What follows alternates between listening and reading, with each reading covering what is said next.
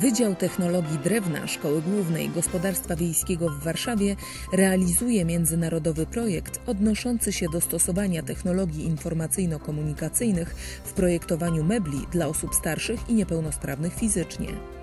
Jego celem jest opracowanie i zatwierdzenie jednolitego programu nauczania dla europejskiego przemysłu meblarskiego, a także rozwój programu kształcenia zawodowego studentów, projektantów oraz specjalistów pracujących przy produkcji mebli.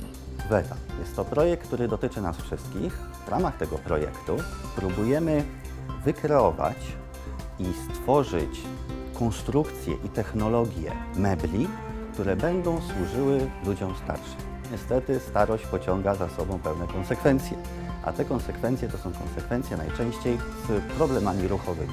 Dlatego w ramach projektu z różnych krajów mamy różnych specjalistów, psychologów, informatyków, elektroników, tak żeby stworzyć mebel, który będzie opiekował się jego właścicielem. Może brzmi to futurystycznie, ale już powoli dążymy do tego, żeby mebel sprawdzał zdrowie użytkownika, jego stan fizyczny, może nawet i psychiczny, i żeby dawał znać odpowiednim instytucjom, co się dzieje z jego użytkownikiem. Inteligentny mebel musi rozumieć użytkownika. Wydział Technologii Drewna SGGW w Warszawie jest pionierem, jeśli chodzi o pomysł dotyczący mebli dla osób w podeszłym wieku. Ja nie spotkałem badań antropometrycznych dla osób powyżej 80 roku życia. Taki projekt, który jest y, projektem multidyscyplinarnym, musi łączyć osoby nie tylko związane z wyższymi uczelniami, ale również z przemysłem. Tak więc w naszym projekcie są przedsiębiorcy, którzy w przyszłości będą chcieli wcielić w życie wyniki tego projektu.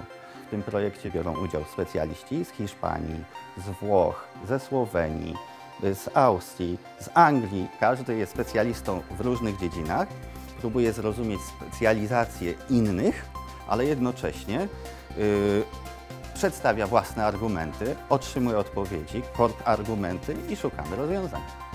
Starzenie się populacji jest wielkim wyzwaniem dla współczesnej Europy.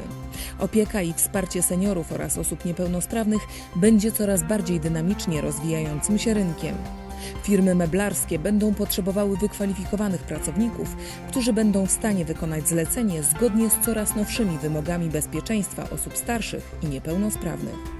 Wydział Technologii Drewna SGGW już dziś wychodzi naprzeciw temu zapotrzebowaniu.